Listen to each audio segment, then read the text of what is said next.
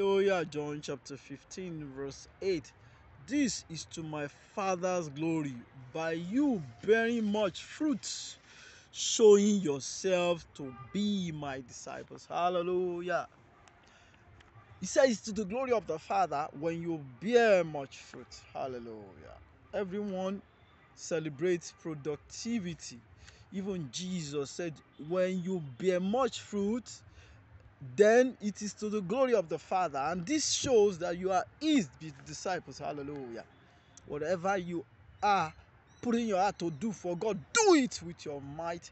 Be productive about it. Make sure you have results and you'll be giving glory to God. And when you give glory to God, the power of God will be real over your life. Is God will be pleased with you. He will make things work for you. He will show His glory over your life, and you will not fail. You will not fall. You will not falter. You will be used for His glory, and His blessing shall be upon your life. Amen.